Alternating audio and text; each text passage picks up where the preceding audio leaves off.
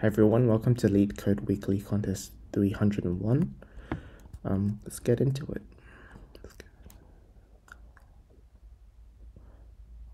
Okay, so my goal is, my long time goal is to come second because I actually want to win the second place prize.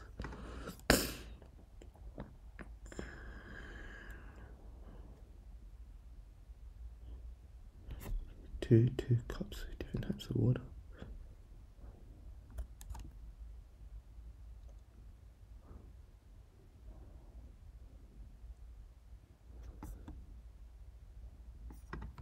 Oh, okay.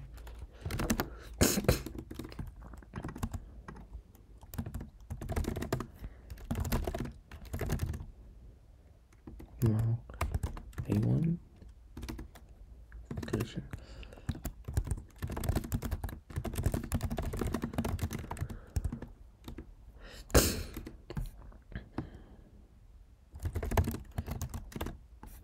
Must some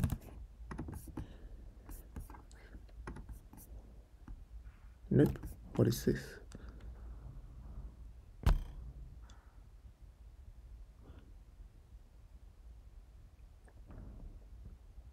Oh.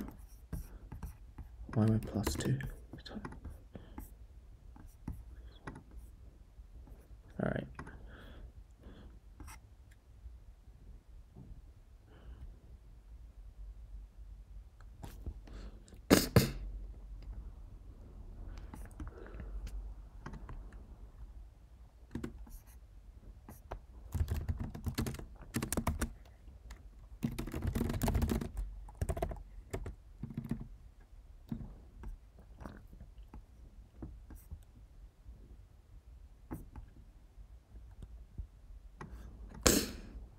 Um,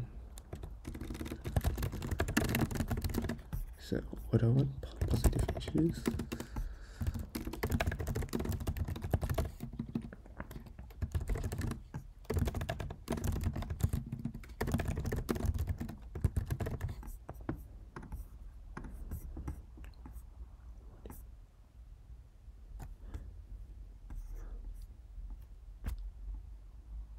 So if I popped it, then why is it gone?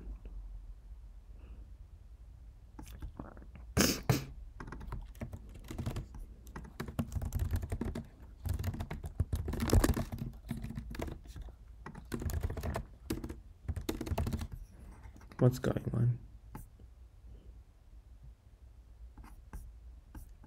Do I not know how to use heap pop?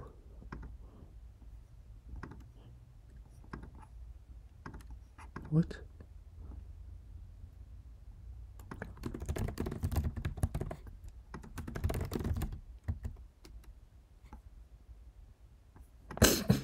uh, whatever, we'll just use C++.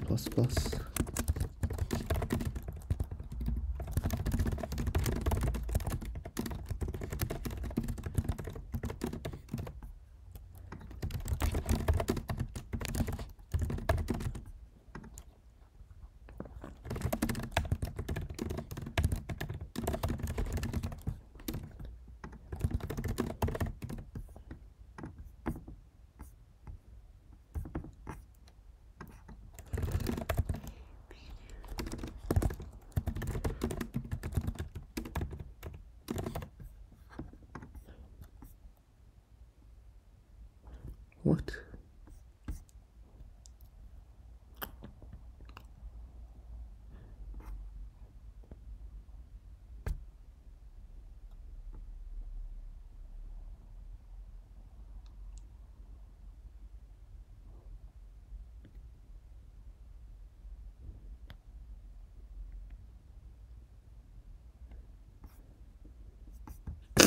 Oh.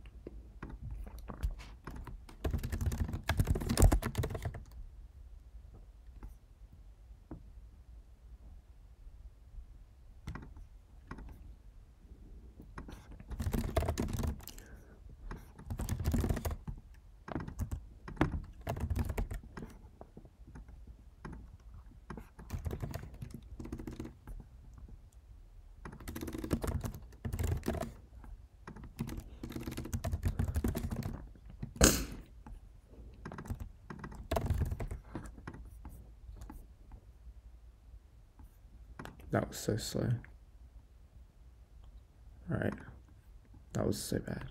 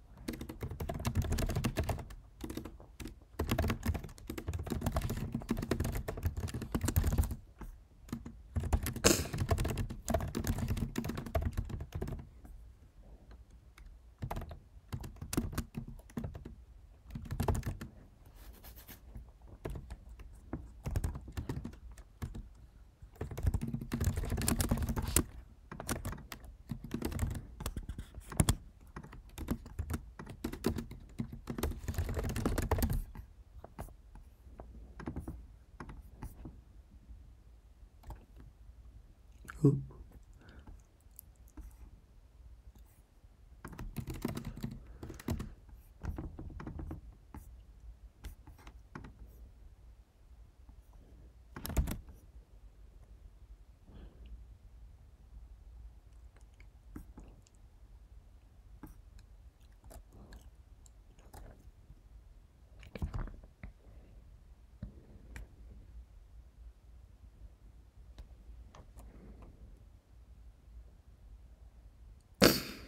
Okay, this was like some harmonic something.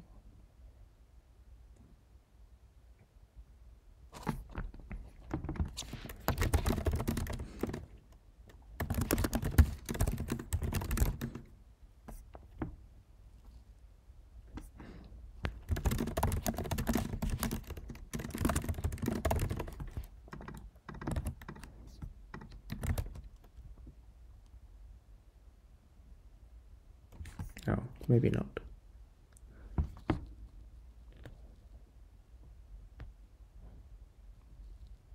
Distinct ideal. Okay.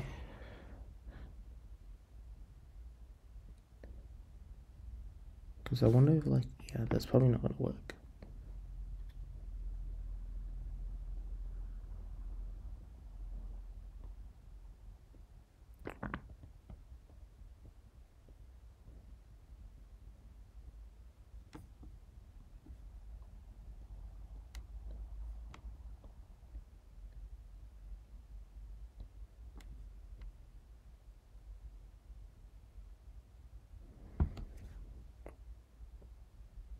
Hmm. There might not be that many ways to. Okay, there might not be that many ways to do it because max value is so small.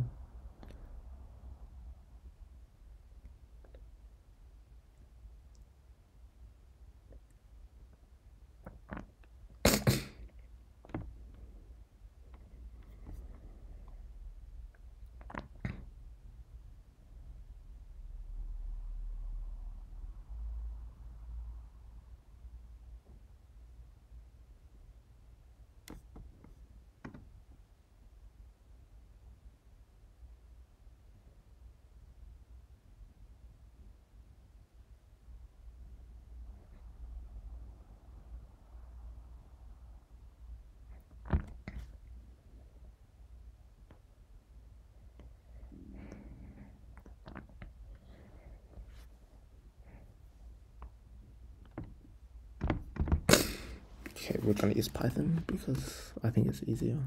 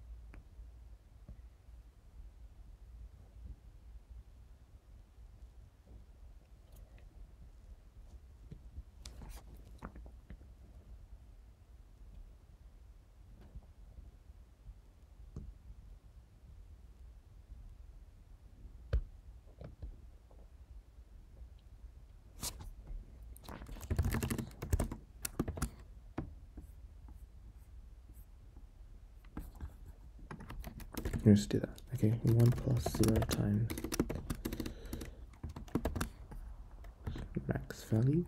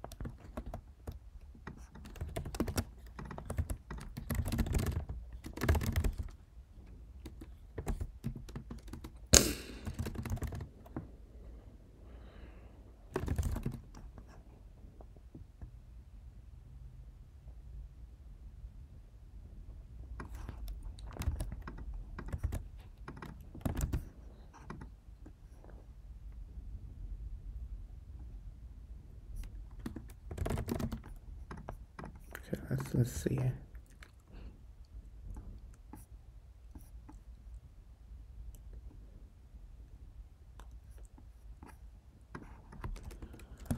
That's plus equals to s. Okay.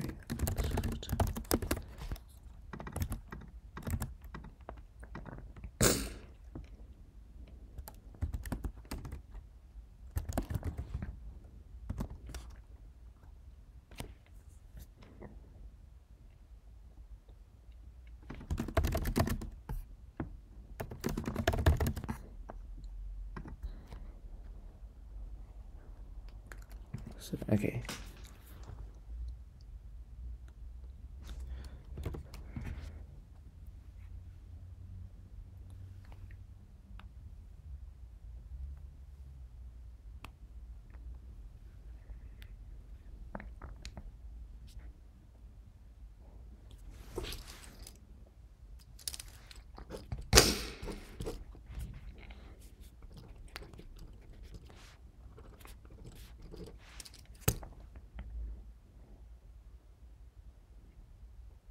Okay, so like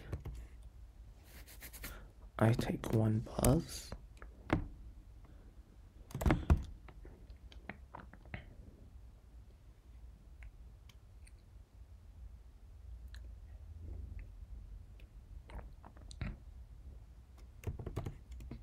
Choose and take I.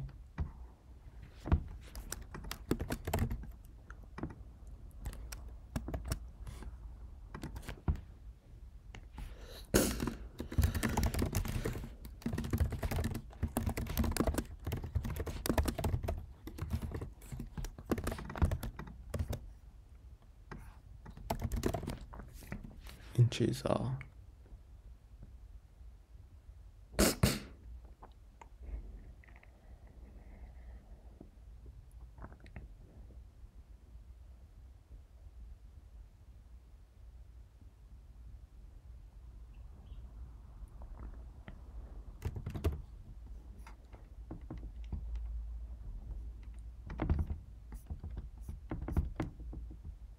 Nope. Is it and take one?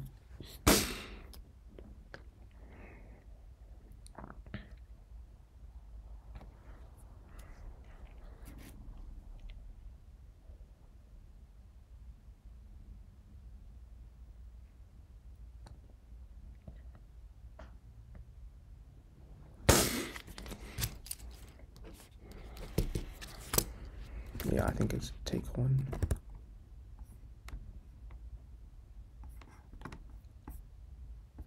Ten, eleven.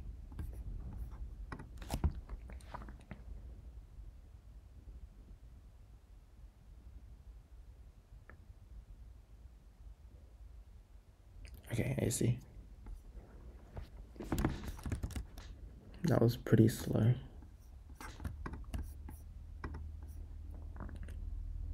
yeah, I figured they'll be very fast people. I had a very bad question too.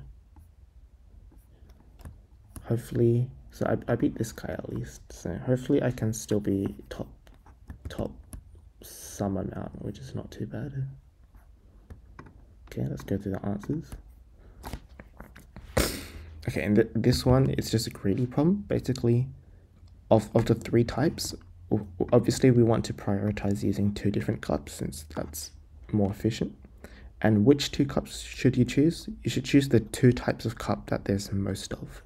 So if there's, in this case, for example, um, since there's four warm cups and two hot cups, in your first move you would choose um, the warm and the hot cup. You wouldn't choose the, um, yeah, that's, that's because like, I, I don't really know how to explain, but um, you kind of want to use the one that you have most of because otherwise if you use the ones that you have not enough of you might get left over with only one type of cup and then you can only do this operation. So that's why you basically want to keep trying this one. Since the constraints are really small we can just simulate that. Whilst there's at least two types of cups um, that's basically what this while condition means. While there's at least two different types of cups I will take the two biggest types of cups subtract one from each of them add one second and we'll resort them. And then at the end, we have to add in any operations for the um, remaining cups. That could probably also be A too. Yeah. Okay, this one, like, I don't know, I was just really bad at implementation. Pretty much the important thing is, um, well, we only need to keep track of the first, like, 1,000 things. It's, since there's only 1,000 calls, even if every operation is pop, um, we will only require the first 1000 numbers. So we can just put all 1000 numbers into a set and then literally do what it says. When we pop, we take the first element of the set, erase it, and return it. And when we add it back in, we just insert it back into the set. That's it. Okay, so the conditions in this problem is, obviously, um, the tokens can't uh, the pieces can't swap with each other. So if this piece is on the left of this piece, then they'll never be able to swap um, which one goes first. So for example, if this start is LRR, then target must also have LRR in that order. So the first thing I do is this function just gets the pieces and returns the positions, the positions and types. So first I'm checking that they have the same length and all of the pieces are the same. If the pieces aren't the same, then you'll return false. Otherwise, then we can pair up. We know that this L is going to go with this L, this R will go with this R, and so on. What we need to make sure is that this L is at least on the, it's on somewhere on this left side. This R must be somewhere on the right side of this one. This R must be somewhere on the right side of this one. So it's pretty clear. If, if a piece is left and you you need to go right, then you can't do it. If a piece needs to go right, and you, if the piece is of the type right and you need to go left, you can't do it. Otherwise, you can do it.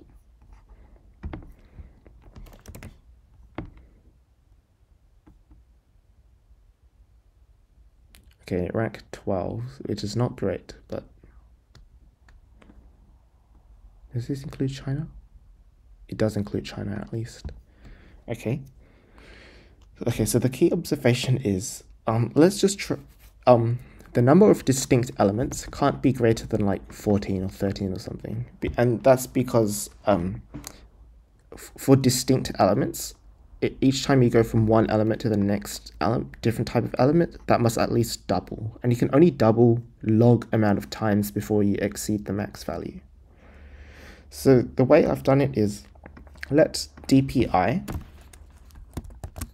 dpi equals max number of so okay sorry sorry. D, we want to calculate dpi equals the number of sequences of length i which are like um distinct. So that so they don't complain don't contain duplicates.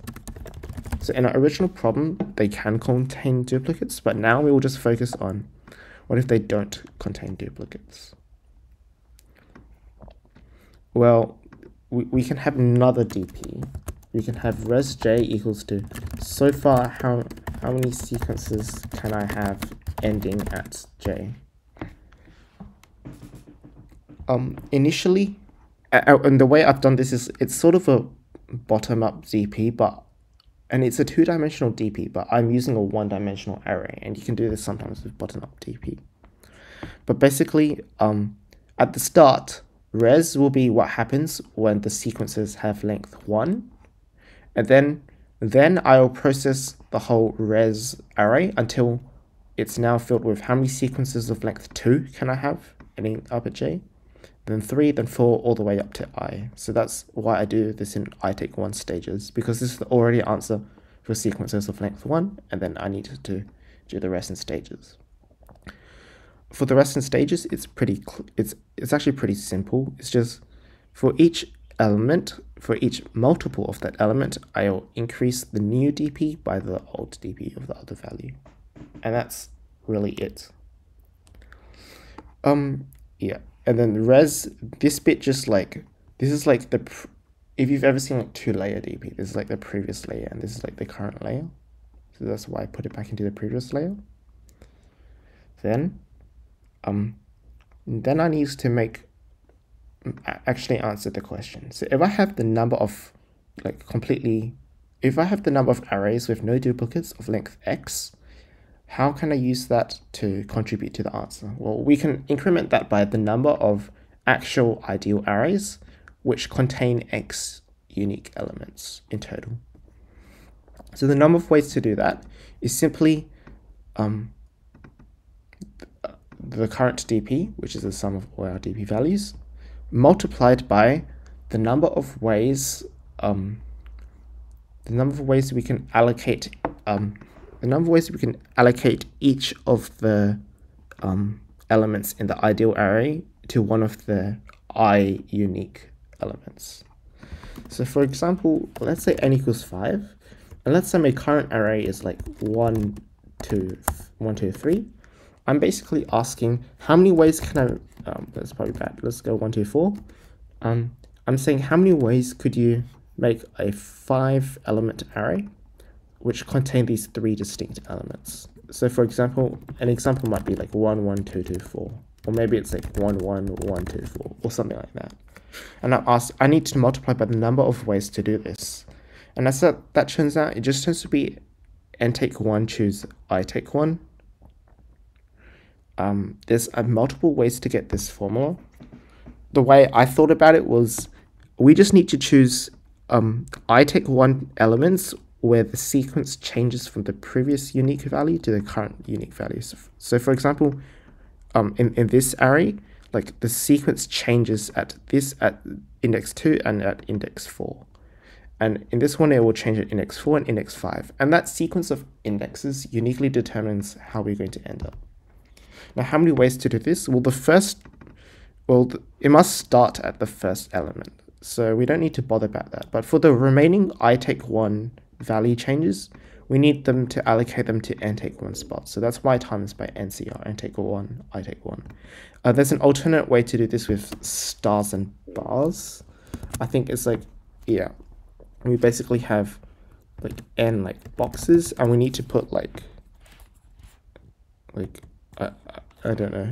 I'm not quite sure of the details, but it's, it's not n boxes. It's like n take i boxes or something like that. And I think you need to put i take one things in the boxes. And then if you use the stars and bars formula, you get the same thing as well. So, so the final thing is time complexity. Why does this work good? Well, it's due to this bit. So the number of times this loop runs, well, when z equals like oh, sorry, this this bit. When x equals 1, this j loop will run like m times. When x is 2, this will run like m over 2 times. When x is 3, this will run m over 3 times. And if we keep adding up, um, like all the way up to um, m, that's this is the harmonic sum series, which is roughly like m log m. So, so this dp actually only takes m log m times i times.